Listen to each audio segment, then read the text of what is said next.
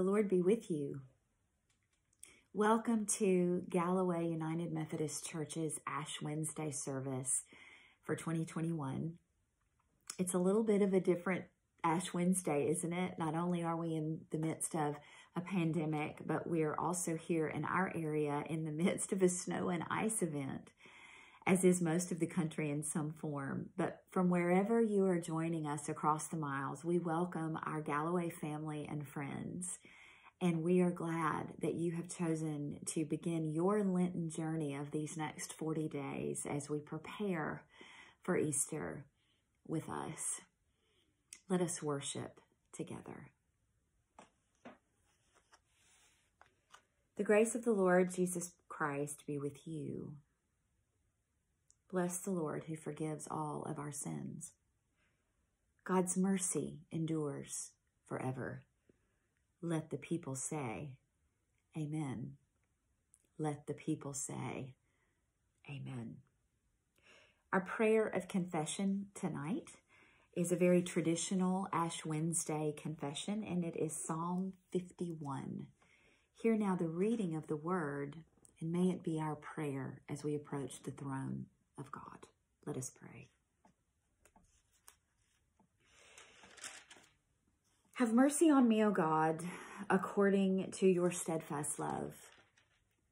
According to your abundant mercy, blot out my transgressions. Wash me thoroughly from my iniquity and cleanse me from my sin. For I know my transgressions and my sin is ever before me. Against you and you alone, O God, have I sinned and done what is evil in your sight so that you are justified in your sentence and blameless when you pass judgment. Indeed, I was born guilty, a sinner, when my mother conceived me. You desire truth in the inward being, therefore teach me wisdom in my secret heart. Purge me with hyssop, and I shall be clean. Wash me, and I shall be purer than snow. Let me hear joy and gladness. Let the bones that you have crushed rejoice. Hide your face from my sins and blot out all of my iniquities. Create in me a clean heart, O God, and put a new and a right spirit within me. Do not cast me away from your presence, and do not take your Holy Spirit from me. Restore to me the joy of your salvation and sustain in me a willing spirit. Then I will teach transgressors your ways, and sinners will return to you. Deliver me from bloodshed, O God, O God of my salvation, and my tongue will sing aloud of your deliverance. O Lord, open my lips, and my mouth will declare your praise, for you have no delight in sacrifice. If I were to give a burnt offering, you would not be pleased. The sacrifice acceptable to God is a broken spirit, a broken and a contrite heart, O God. You will not despise. And hear this reading from Joel chapter 2. Yet even now, says the Lord, return to me with all your heart, with fasting, with weeping, and with mourning. Rend your hearts and not your clothing.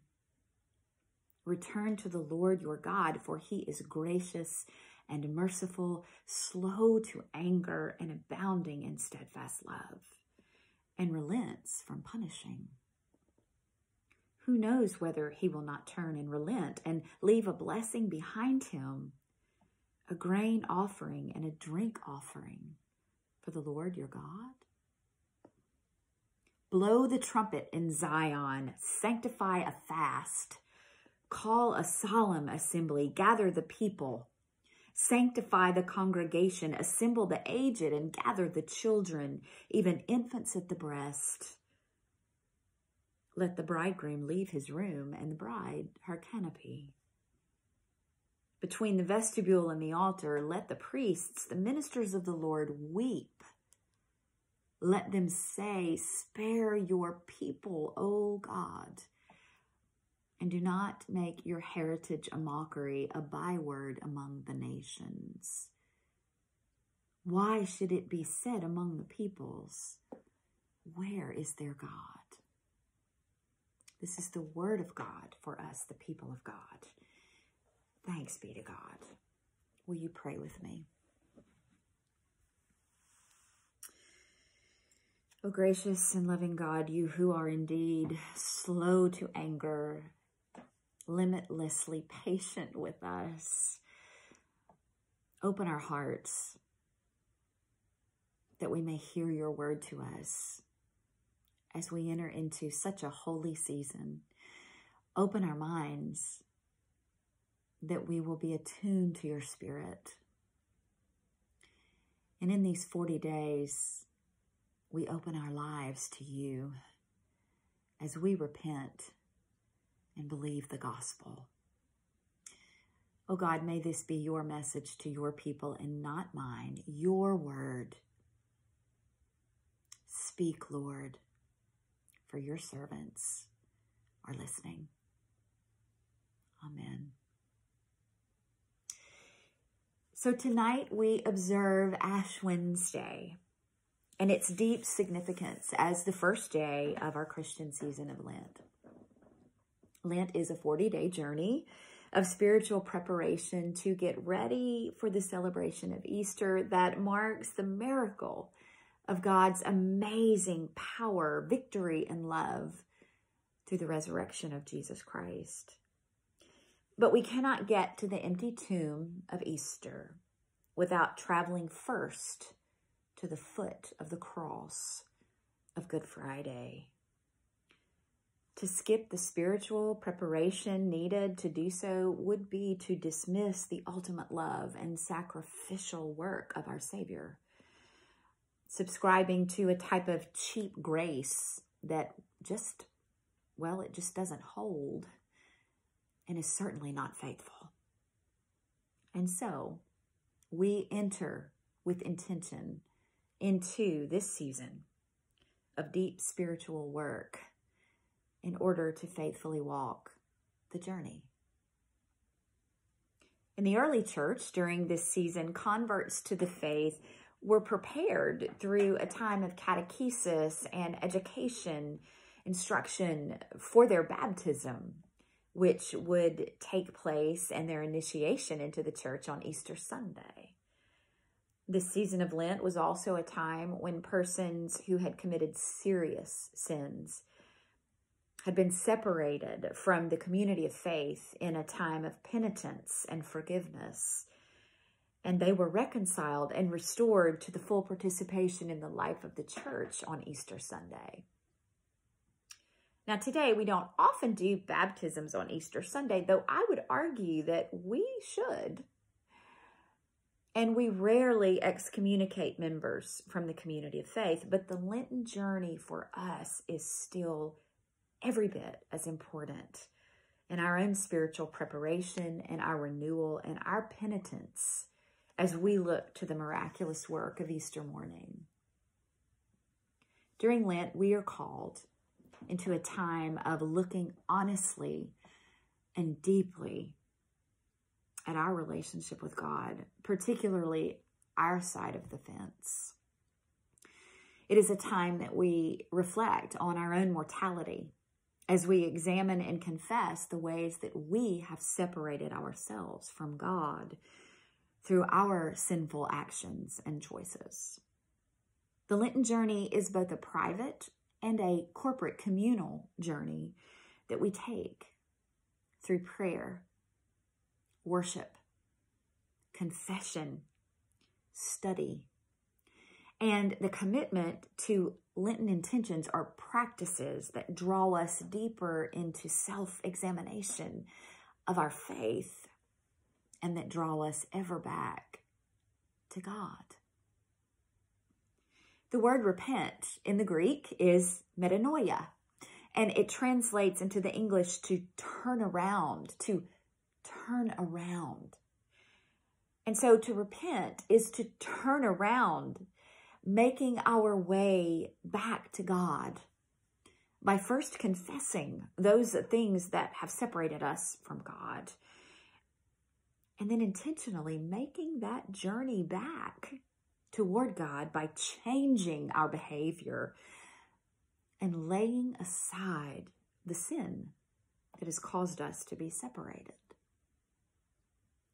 And so tonight's service of Ash Wednesday is a threshold moment because it is a threshold that moves us into this journey of prayer and self examination and confession and repentance, where we are reminded again that we are mortal, ashes to ashes, dust to dust, that we are the creature, not the creator, and we need God.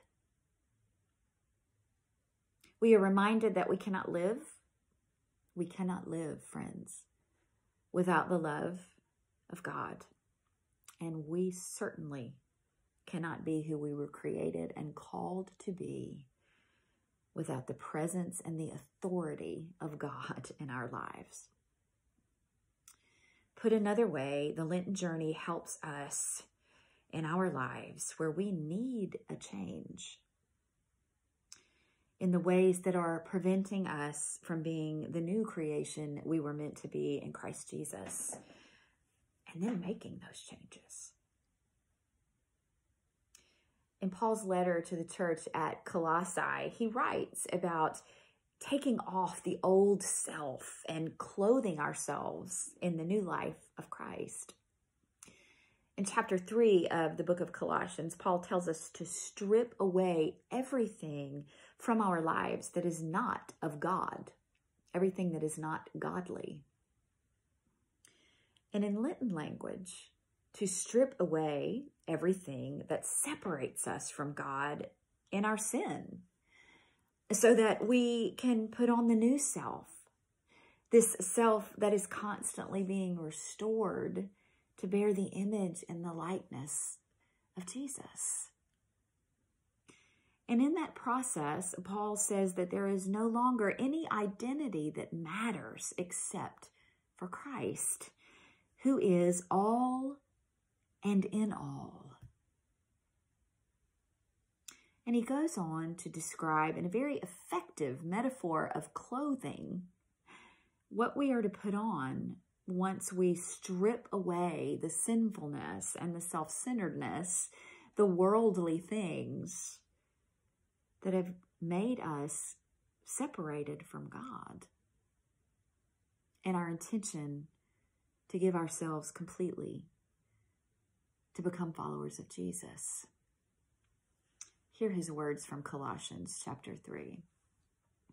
As God's chosen ones, holy and beloved, clothe yourselves with compassion, kindness, humility, meekness, and patience. Bear with one another. And if anyone has a complaint against another, forgive each other.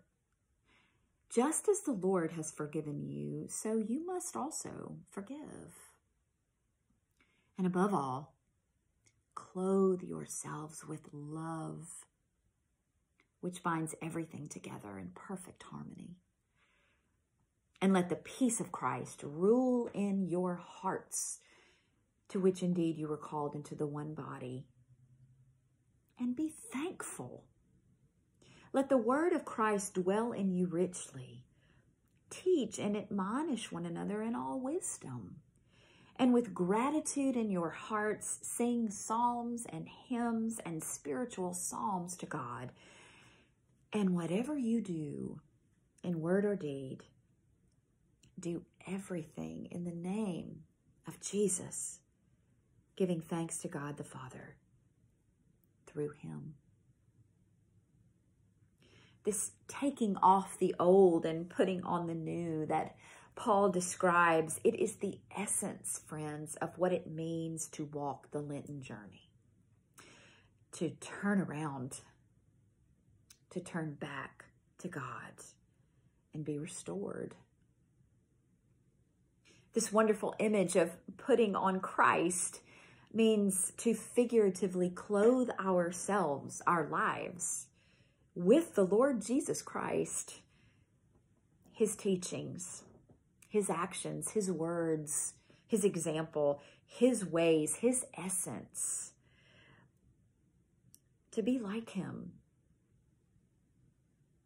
so that our lives will reveal the glory of God to the world as children of God, as the body of Christ that we are, and as brothers and sisters to Jesus.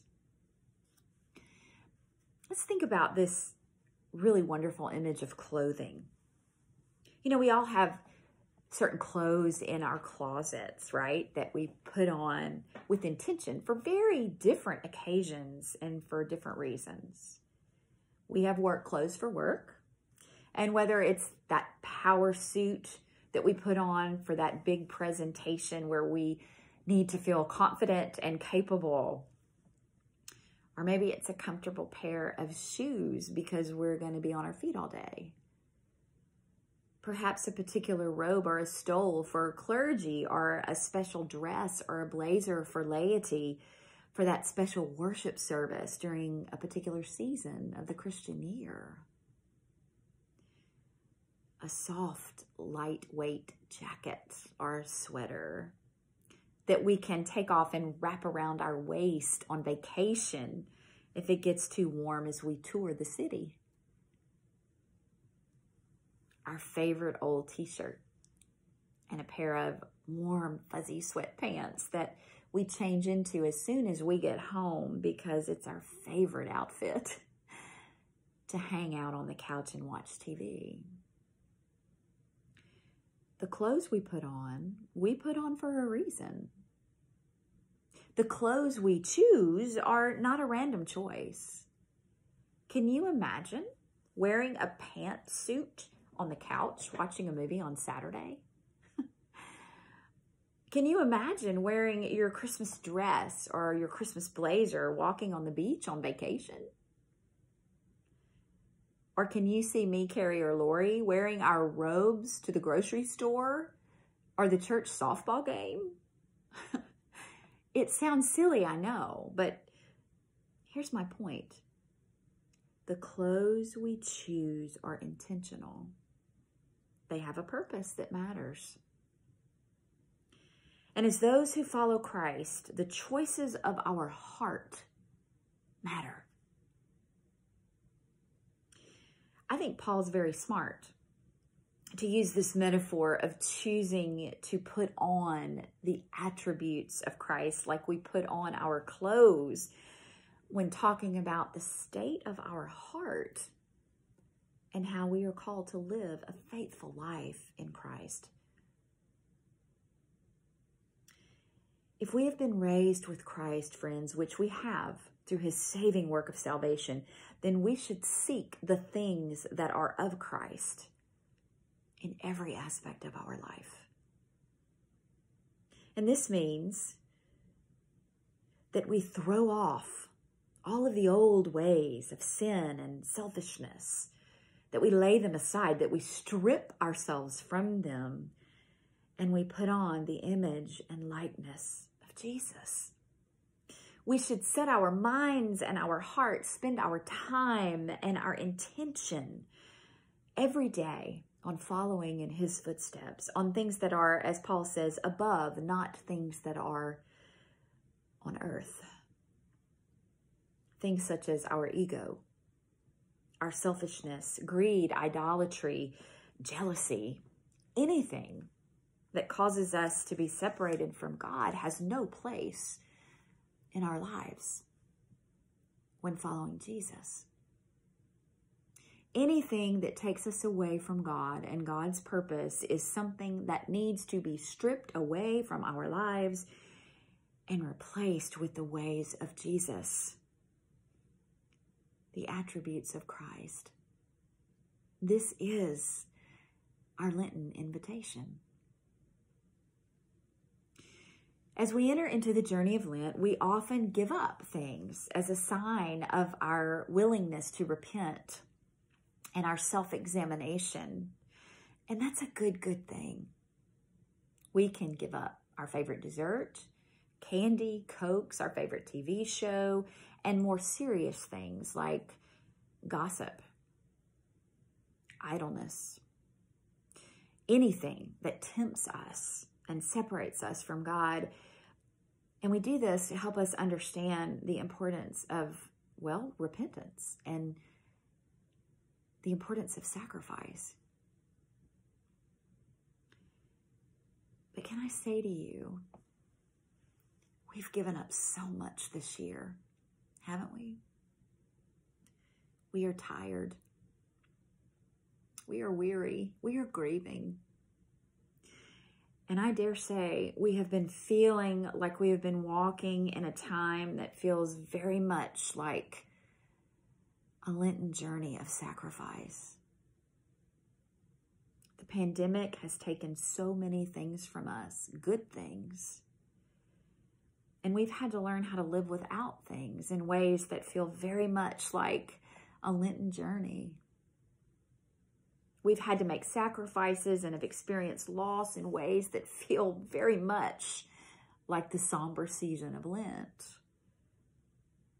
First and foremost, the loss of so many lives to COVID. Many of us have lost loved ones and family members and friends and someone we know and love to this virus. Others have lost jobs We've had to give up lots of things. We've had to give up treasured time with family and friends, planned vacations, holiday rituals, the celebration of really important mile marker birthdays and anniversaries. These and so many other things that we've had to sacrifice in ways that we never realized before were so important and precious to us until they were taken away. We've been living with these sacrifices longer than we could have ever imagined. This time last year, when the virus came on the scene, about the same time, friends, as Lent. So if you are feeling like giving up something for Lent feels shallow or rings hollow for you this year, if it doesn't seem to carry the same accessibility or weight for you into the Lenten journey, let me offer an alternative this year. I want us to consider taking something up for Lent, taking on something. And not just anything, but the characteristics and the qualities of Jesus. I invite us to practice Lent by putting on Christ. What if this year, as our Lenten intention, we took up a daily practice of clothing ourselves in the attributes of Christ? What if for Lent we made it a daily commitment, our deepest intention to live from a place of compassion and kindness, humility and meekness and patience each day? What if we worked extra, extra hard to bear with one another? Not to get our way, but to seek the best way not so much to be heard as to listen. What if we made the intention every day of Lent to love deeply, especially when it's hard, and to forgive often? What if each day of Lent we spent time being thankful, especially amid these difficult times, with gratitude in our heart, refusing, refusing to miss the big and small ways God is still blessing us. Admittedly, it's a greater challenge during a pandemic. And yet, that's why it seems so powerful as a Lenten intention to practice this year. practicing Lent by putting on Christ. Goodness knows the world needs us to be like Christ during these dark and divided and fearful days that just seem to go on and on. The light of Christ is most visible when the body of Christ shines it through our lives. Oh, of this there is no doubt. Kindness, humility, meekness and patience, forgiveness, love, and peace. Imagine with me if every Christ follower made it our Lenten practice to put on these qualities of Christ from the time we wake up in the morning to the time our pillow hits the bed each night. Can you imagine how differently, certainly our lives, but the world around us might be after these 40 days? It reminds me of what Desmond Tutu said in his good word of advice. Do your little bit of good where you are. It's those little bits of good put together that change the world. So tonight, we are invited to repent and believe the gospel. Tonight, we begin our journey of 40 days of turning around and making our way back to a loving and a kind and a compassionate and a humble and a forgiving God. Well, who offers us peace and new life in Christ. May we do so. May we turn around back toward God. May we do so by putting on Christ and walking the journey together. My friends, repent and believe the good news of the gospel. In the name of the Father, and of the Son, and of the Holy Spirit. Amen. Let us pray.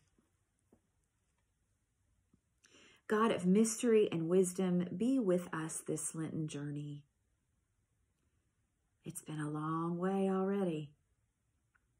Sickness and worry, isolation and fear, waiting, and our hearts are heavy. Our souls are weary, our bodies are hurting, our hope is wavering, and yet you are with us. God of mystery and wisdom, be with us on this Lenten journey. Show us your grace in the small moments of silence, the prayers offered in person or virtually, the kindness of a stranger, the compassion of a friend, the lighting of a candle, the care of a neighbor, through all of these, Lord, you are with us. God of mystery and wisdom, be with us on this Lenten journey. Settle our hearts, revive our spirits, and increase our faith. Spread your love through us and among us as we seek to put on the image and likeness of Jesus this Lent. God of mystery and wisdom, be with us on this Lenten journey in ashes and dust, reading and listening, wandering and walking, praying and singing, eating and fasting. Show us the way forward. God of mystery and wisdom, be with us in this Lenten journey. As we walk to the cross, keep our eyes fixed on you and your love caring for others, reaching out to the poor, taking our pain, transforming death into life over and over again. God of mystery and wisdom, be with us on this Lenten journey. And all God's people said, Amen.